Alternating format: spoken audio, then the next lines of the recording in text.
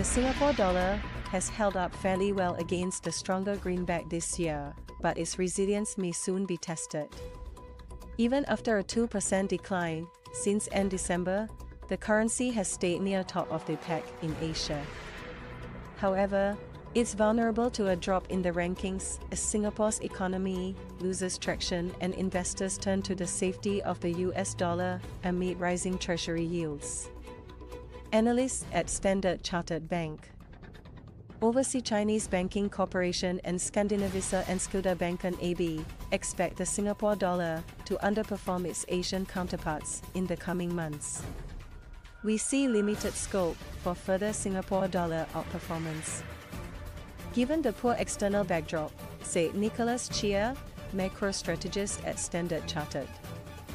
He estimated that the currency's so-called nominal effective exchange rate is trading in the upper portion of the policy band, limiting the room for significant appreciation against currencies of major trading partners. Singapore's non-oil exports declined for an 11th month in August, signaling deteriorating global demand, will be a challenge for the local dollar given the economy's reliance on trade.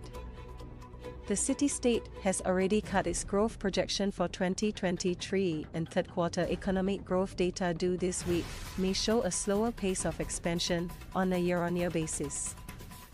One thing the currency has had going in its favor this year is the monetary authority of Singapore's exchange rate policy stance. It has led the currency appreciate against a basket of its major trading partners to cool inflation. Focus is now turning to the policy announcement, due October 13th. The challenging export backdrop will likely continue to weigh on third quarter GDP in ultra-open Singapore, said Brian Tan, an economist at Barclays Bank plc.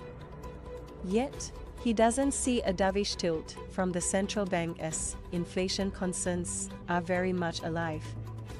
Unlike other central banks that use interest rates, the MAS responds to inflation by guiding the local dollar higher against a basket of the currencies of its major trading partners. It targets the Singapore dollar's nominal effective exchange rate or S dollar NEER within a policy band and any decline in its slope should put pressure on the local dollar. We ascribe a material probability of 40% that the Monetary Authority of Singapore may reduce the slope of the S dollar and NEER band slightly should it place more weight on the weakening external outlook. Said Peter Chia, FX strategist at United Overseas Bank.